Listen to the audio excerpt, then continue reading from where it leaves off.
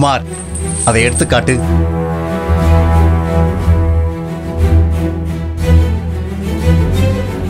என்ன பார்க்குற காளி?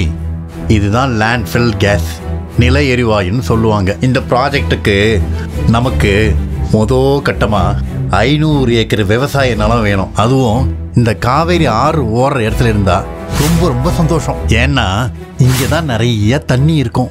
இங்கே இருந்து ஒரு ஆயிரத்தி ஐநூறு அடி ஆழம் தோண்டி உள்ள இருக்கிற எல்லா தண்ணியையும் வெளியே எடுத்துட்டு இந்த ஐநூறு ஏக்கர் நிலம் முழுசா சின்ன சின்ன ஆழ்துறை குழாய்களை உள்ள விட்டு 250 வகையான கெமிக்கல்ஸை சேர்த்து பூமியிலிருந்து அப்படியே முழுசா வெளியே எடுத்து நம்ம கவர்மெண்ட்டுக்கே விற்கிறதுக்கு நான் பேரம் பேசுவேன். அதுவும் செட் ஆகலனா வெளிநாட்டுக்கு அனுப்பி அதுலயே நல்லா காசை பார்ப்பேன்.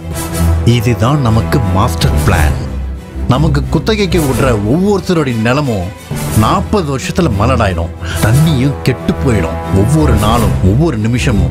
வெளியே போற கேஸ் கார்பன் டை ஆக்சைடை விட இருபத்தெட்டு மடங்கு பவரானது இந்த நாடே சூனியத்தில் அழியும். இதோட சூத்திரதாரி.